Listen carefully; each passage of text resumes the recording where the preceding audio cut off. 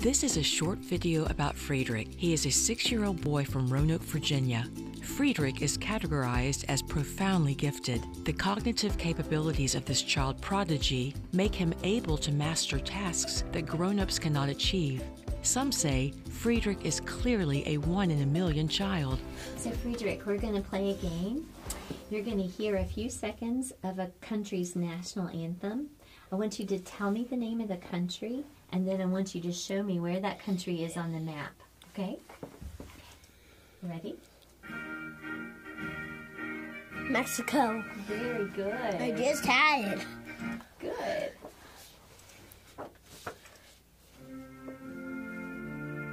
Netherlands. Very good. Show me.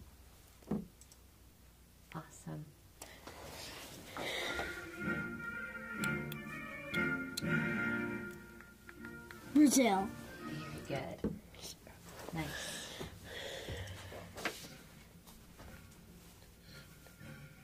Algeria. Good.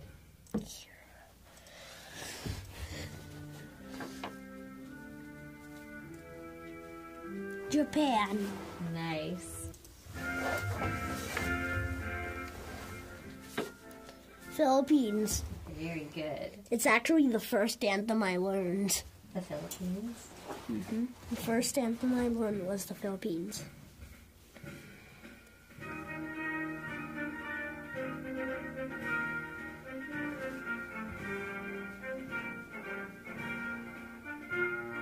Oh yeah, uh, Senegal. Very good. That's right. There. France. Good.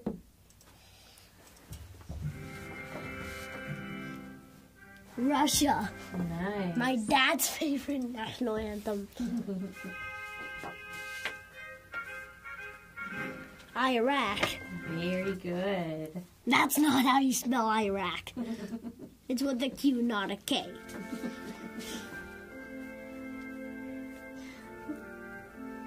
Cambodia. Very good.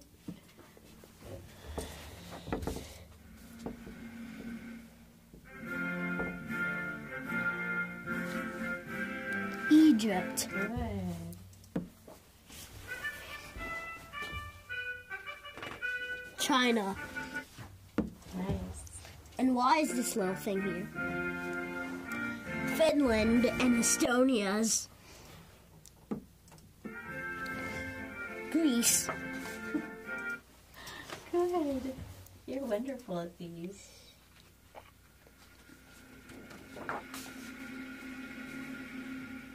Easy, I can already tell by the drumming it's UK. Because it, because the drumming is long. Poland.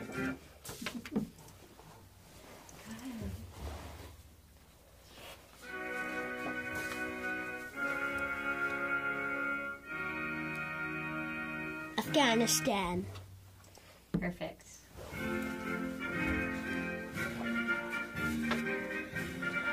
Italy. Very good. Germany. Easy. I already know it. Canada. Yes. This Greenland over here. Argentina. Very good.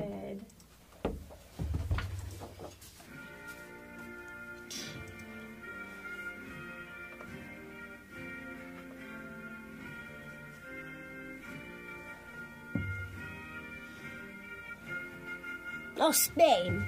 Very good. Friedrich can do this for every country in the world.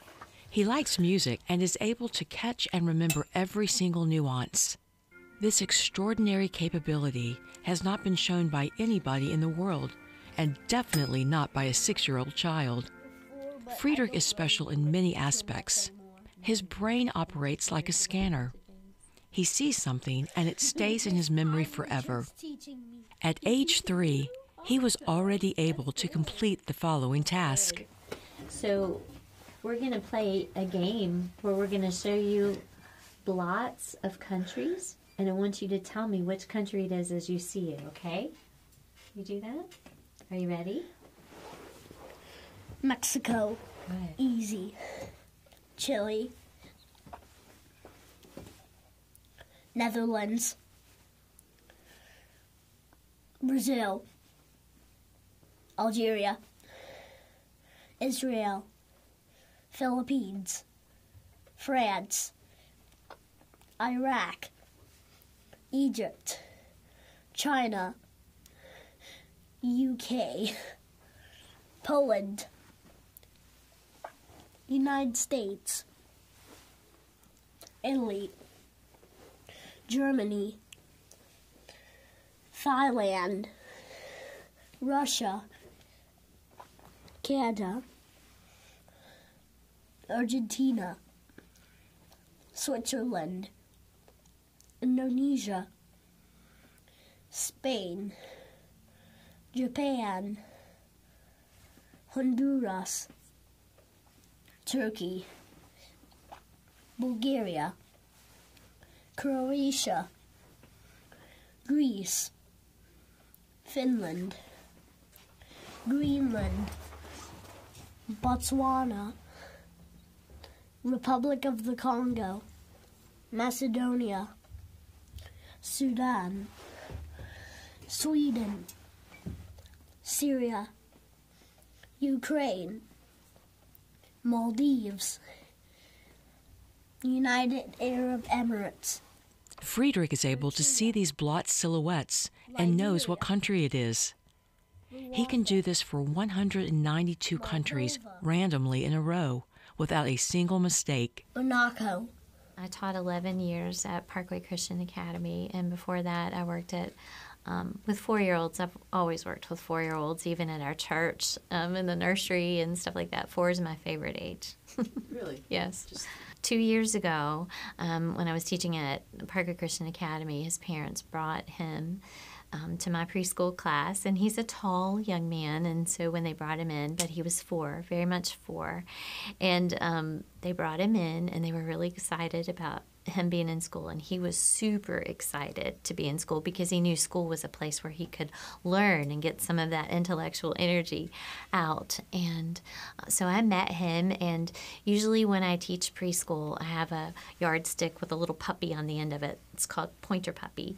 And in our room we have you know the abcs all around the room in order. And then um, we have the numbers 1 to 20 and at four, that's a pretty good challenge, you know, just to learn your ABCs and your one, two, threes. And so the very first day he was in my class, we're singing the ABC song, and he's looking at me kind of funny, you know, we're singing the ABC song. And then we go to count one to 20, and he's like, Mrs. Gray.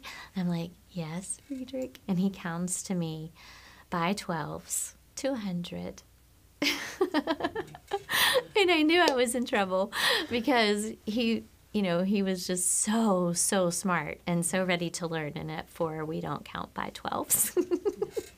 so, so I had to, um, I, I knew he was going to be a special child because because I didn't want his um, excitement about school to be squashed. I wanted him to be challenged, and I knew being in a four year old preschool class, he already knew everything everything that we were going to learn that year. So we we called in some extra help and had him tested, and he was put in the gifted program. And he tested at four. Um, he tested on a third grade reading level at four, and that that was just the tip of the iceberg. Though he he's not only good with numbers, he's good. He was good with. I, I was uh, saying earlier, we did a lot of interacting with older students. I would bring older classrooms in for reading buddies and stuff like that. And one of the other things that just amazed me about Friedrich was we were doing puzzles and he had a he had a sixth grade reading buddy and we were doing puzzles and they did uh, a, a puzzle of the United States, and Friedrich could put it together and tell you every state in the United States, and he did it. He did it faster than his sixth grade buddy. It was just amazing, amazing. How old was he at the time? Four. Oh, he was four. Friedrich loves numbers and everything about math. He's in a special program with Liberty University in Virginia and attends sixth grade math there. In this clip, the teacher writes down very large numbers and he has to identify them. Friedrich can read any number that is randomly presented to him. The larger the number, the more fun he has. 176 octillion, 432 septillion, 894 sextillion, 623 quintillion, 268 quadrillion, 176 trillion, 432 billion, 411 million, 268,423. That is wonderful. Great job. You want an even harder one? All Yeah. right. We'll try an even harder one this time. Okay.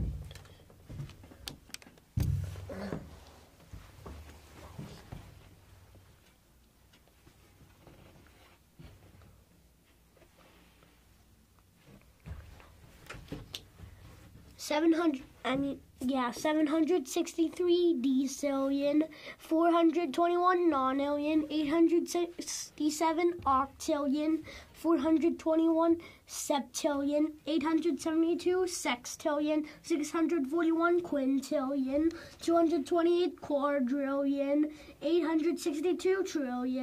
six hundred forty-one quintillion, two hundred twenty-eight quadrillion, eight hundred sixty-two trillion. 443 billion, 162 million, 423,167. Wow. That is wonderful. In his university math course right now, Friedrich especially likes Pythagorean theorem problems and algebra. Overall, it can be said that he understands every math problem that is explained and presented to him. Wow. That is exactly right. Great job. Most of the teachers Friedrich has had up to now agree they never saw a child like him before in their careers. It was just amazing. I taught English and reading and spelling, and uh, math was taught through Liberty University Online. And when he came to me, he was already on third grade math. And five years old, keep remembering that he's five and he was already on third grade math. And he, if he played, um, he would usually win, but he liked to win. He did not like to lose. that was one thing he did not like to lose. Uh, but most of the time, if he played, he would win because he knew his facts. You know, just he already knew them, and that you know, coming into second grade like that, being five, that was that amazed me too. I'm just like, uh, but I did. I think I sat in on one of his university classes through Liberty, and uh, the things that he was doing in there, uh, I was like, oh wow, I'd probably have to go back and uh, learn some of this, some of these things that he was learning. But I think he's already into algebra now, uh, so it's he's just moving on. I mean, it's just something that he enjoys doing, and uh, strives to get better at it. x to the nth exponent over x to the nth exponent equals x m minus n. Hi, Friedrich. This is Mrs. Brooks. I have been your teacher this past year at Liberty Online Academy, and I have thoroughly enjoyed you in my fifth grade math class. I am super proud of you and the work that you've done with us here at Liberty Online Academy. I can't believe you're six years old. You are such a smart, diligent, dedicated student, and it shined in your work that you turned into me this year. On almost every single math assignment, you received a 100%. That is an amazing achievement for any student, but especially ones as young as you are to be doing fifth grade math. I am, have been so appreciative to have you in my class because of your diligence, your hard working. The things that you have turned into me have been um, such inspirations to me to see a student working so young and accomplishing so much. Um, one of the funnest things that I remember from this year and your work that you turned in was your fraction funny and how you took um, fractions of words and then put them into larger words to create an actual sentence and a riddle. And that to me, your um, humor and who you are really shined in that assignment. So that was a fun one for me to do with you. I just wanted to say thank you for being a part of my class. It has truly been a blessing, and I've enjoyed being your teacher during this fifth grade math course. I wish you the best of luck.